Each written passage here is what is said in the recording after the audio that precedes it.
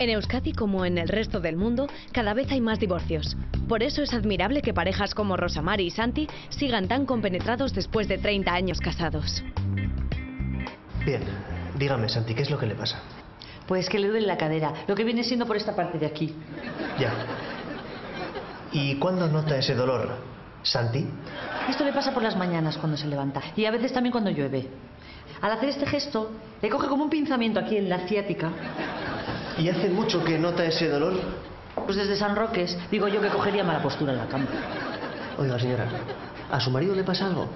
Pues no le estoy diciendo, la cadera que le duele. Jesús, menudo médico, que le hablas y no te oye. Ya, pero ¿por qué no habla? ¿Este? Pues porque es un sin sangre y un chocholo. Le tengo que acompañar a todas partes. 30 años hace que estoy bregando con él. Que menuda cruz que me ha caído. Y desde que se prejubiló, mucho peor. Oye, andas por la casa y siempre está en el medio, siempre estorbando, ahí parado como un pasmarote. Ay, tu móvil, ven para acá.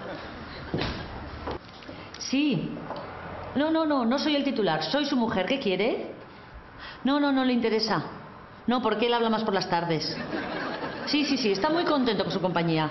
Alá, agur. Bueno, pues creo que se trata de un simple tirón, así que se va a tomar esto.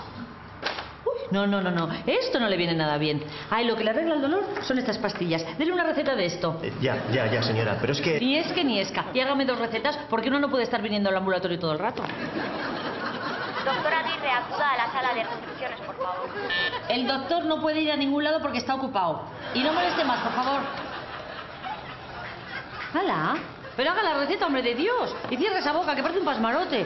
Jesús, qué cruz. Todos los hombres son iguales, qué, qué, qué chocholos.